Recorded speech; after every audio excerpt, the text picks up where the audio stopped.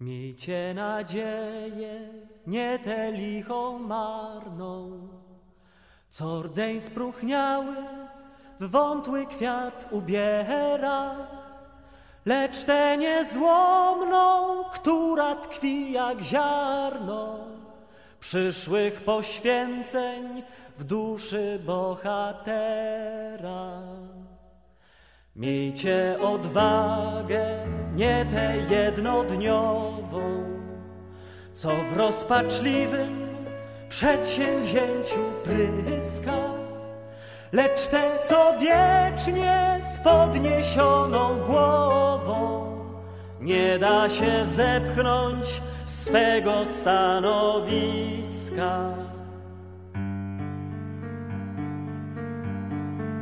Miejcie odwagę, nie tę tchnącą szałem, która na oślep leci bez oręża, lecz tę, co sama niezdobytym wałem przeciwne losy stałością zwycięża, lecz tę, co sama niezdobytym wałem przeciwne losy stałością zwycięża.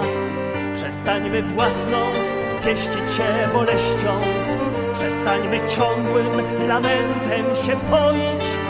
Kochać się w skargach jest rzeczą niewieścią, mężom przystoi w milczeniu się zbroić.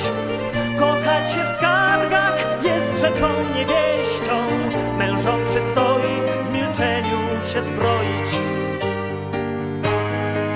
Lecz nie przestańmy czcić świętości swoje i przechowywać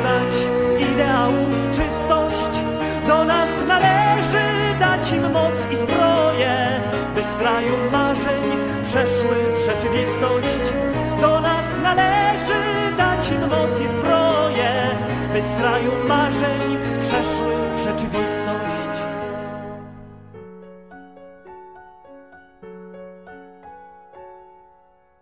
Miejcie nadzieję, nie tę lichą marną, co rdzeń spróchniały w wątły kwiat ubiera, lecz tę niezłomną, która tkwi jak ziarno przyszłych poświęceń w duszy bohatera.